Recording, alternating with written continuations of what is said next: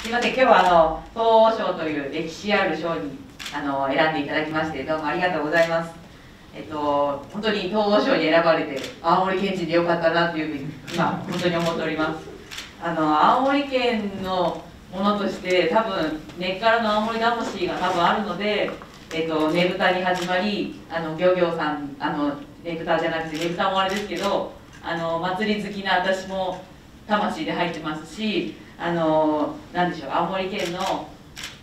海も山も全部産地もいいしあの環境がすごい良かったし美味しいものも今出てみて分かるんですけどやっぱ青森県ってあの食べ物も全部良かったな美味しかったなっていうふうに今改めて青森県の良さを感じてますしあの東欧省のおかげであの東日光さんのおかげであの私が全国で走ってましてもあの青森県の方にすごい頑張ってるねとかあの応援してもらえるような記事を書いてもらったりとあのすごく助かっております。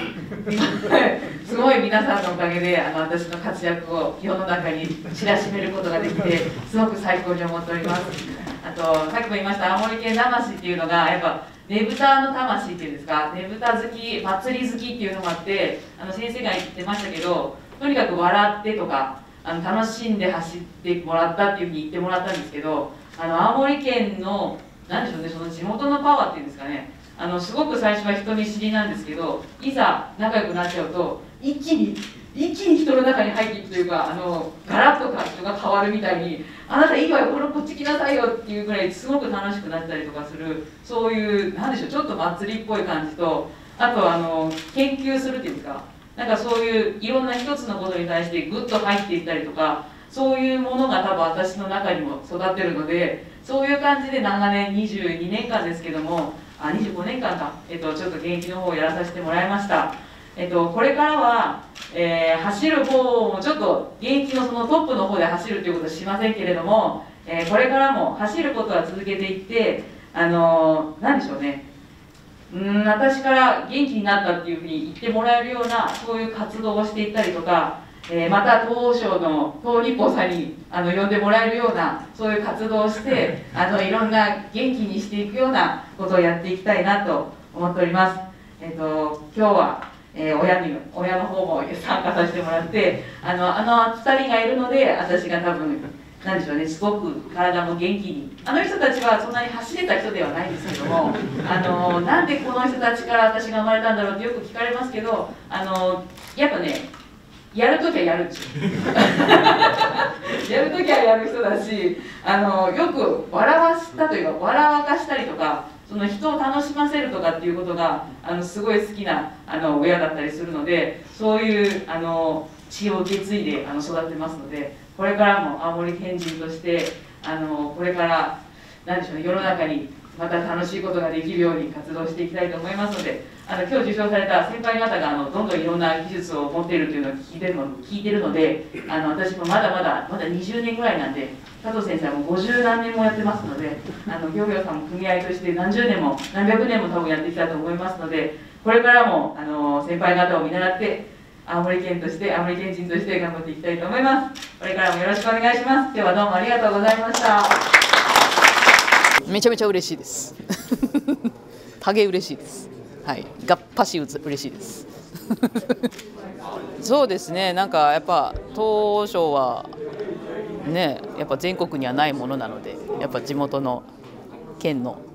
賞かなっていうふうに思います。はい。うんそうですね。今年になって引退してからやっとこういうふうな活動ができているのであなんかこういうふうにやるのも面白いなっていうのとあと青森県に呼んでもらえるのはすごいありがたいなっていうふうなまた温かみが違うなっていうふうにまた改めてあのふるさとの良さが分かる感じはしますね。はいうんなんかね思ってる以上に私が思ってる以上にすごい応援してくれてんだなっていうのがまたさらに分かったのであのこれからもなんかなんか貢献というか青森県に対して何かできればいいなっていうふうには考えてます。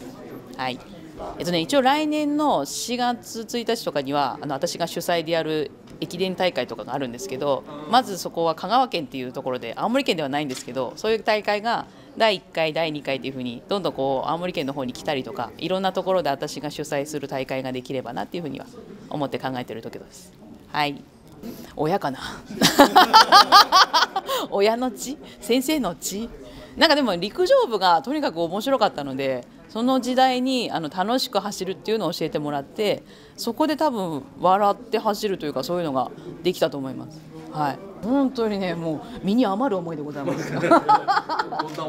なんか恥ずかしいですねなんか。すごい改めて言われるとというかすごいなんかありがとうっていう風な感じで言われたりまあ、でも最後はちゃんとねこれからも頑張るよみたいな感じは締めてもらったのであやっぱ先生だなっていういつまでたっても先生だなっていう感じですね。まあ、陸上界を変えたとも言われてましたがねえちょっとちょっとなんか歯がゆい感じはしますよね。そうそうそう。あそうなの？みたいな。先生が言うならあそっかっていうふうに思うようにします。